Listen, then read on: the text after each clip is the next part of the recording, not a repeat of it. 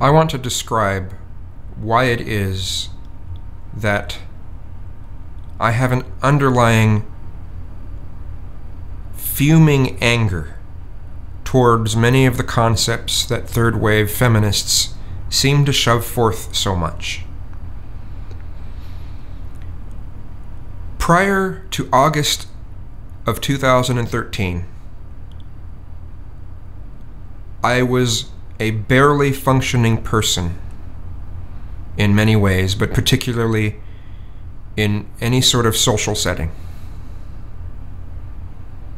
when I was around the public at all.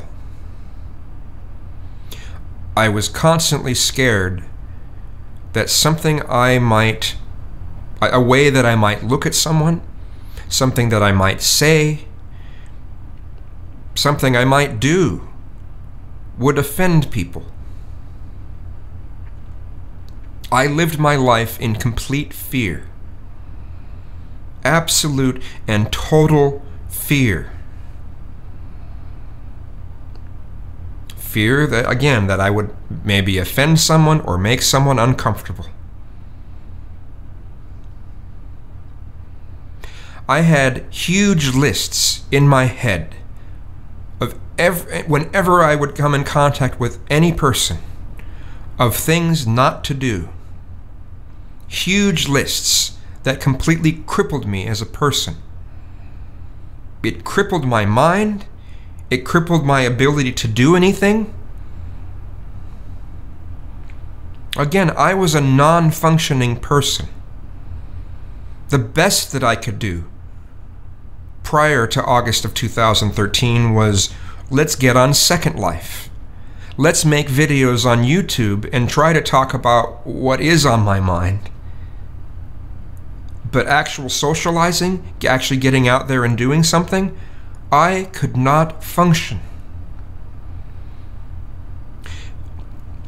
And when I was on a job site, the longest I could hold work ever was three months. And the panic, anxiety, and fear would destroy every job that I had. I have done a lot of recovering since August of 2013. In August of 2013, I learned that my conscience my own conscience is my own, and that I have the right to my own conscience. I have the right to my own standards. I have the right to my own thoughts. I have the right to think of things outside the standard way that society tries to shove forth that we are supposed to be. That I have the right to do that.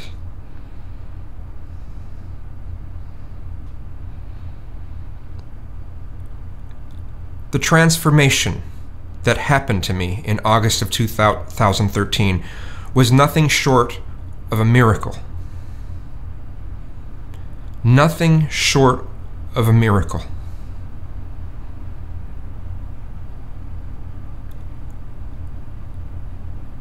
But here it is.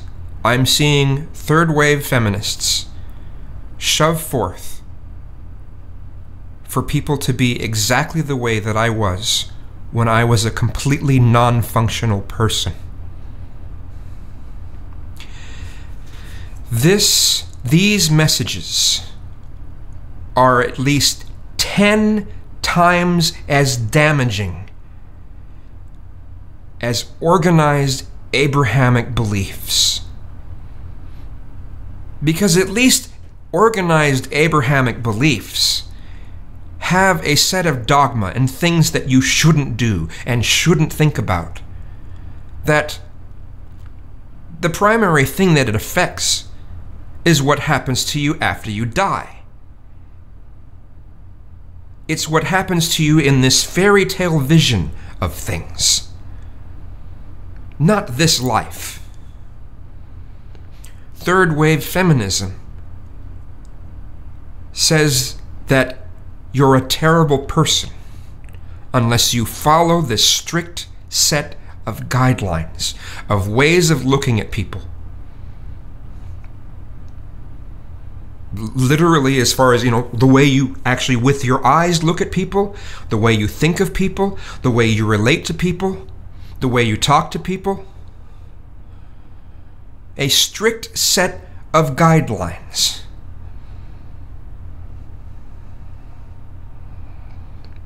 And if you don't follow them, you're misogynistic, you're a rape apologist, you hate women, and you don't care if women get assaulted or killed or whatever, that whatever bullshit thing that they like to say towards people who feel that they shouldn't have to follow these strict sets of rules, these strict guidelines.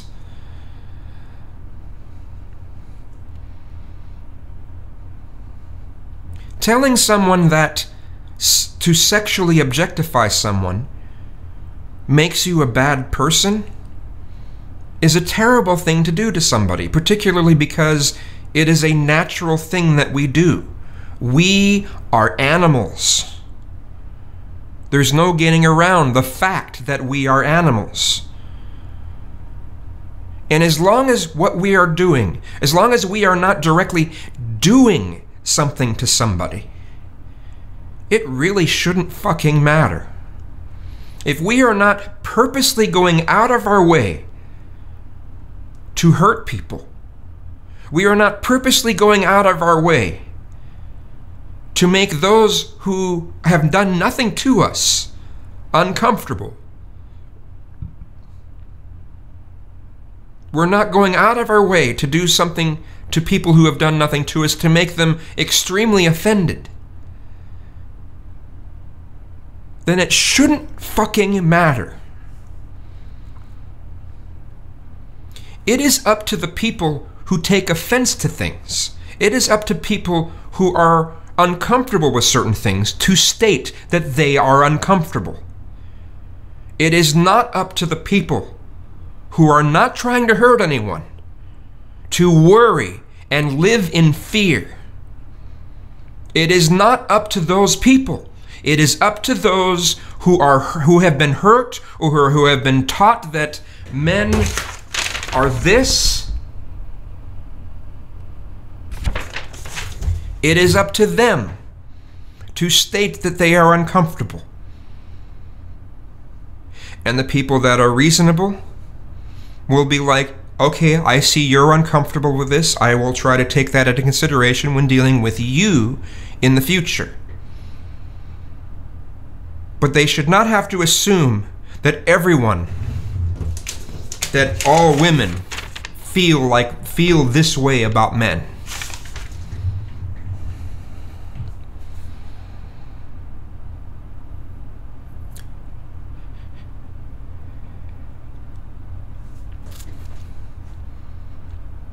Religious dogma is something to be kind of pissy about. But at least there's some sort of, at least it follows some sort of logic of there's this religious book that says you'll burn in hell unless you do this. At least there's almost a sort of logic to it. With third wave feminism, there isn't that logic behind it. It's just you're a bad person because you're a bad person. You're a bad person unless you follow this strict set of guidelines. And I'll tell you one thing I will never, ever live my life in fear like what my entire life was prior to August of 2013. I will never, ever live my life in fear like that ever again. Ever.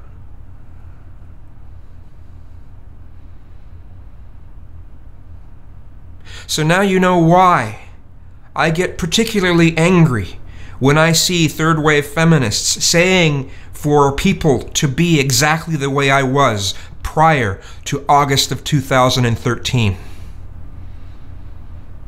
You think that, that people, There are people that get really angry at, at Christians for shoving forth their dogma down people's throats because it hurts people.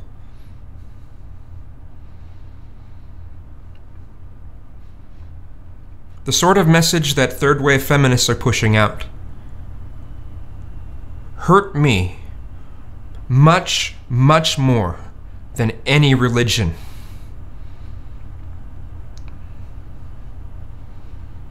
Than any religion ever has, actually. I got raped in church at a, at a Sunday school for a year when I was eight. And yet I still feel this way. I still feel that I was I that the messages that come from third wave feminism hurt me more.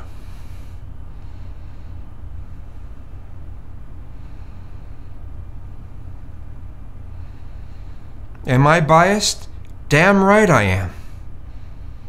I will not live my life, which wasn't really living my life, like I was in all the years prior to August of 2013. Never.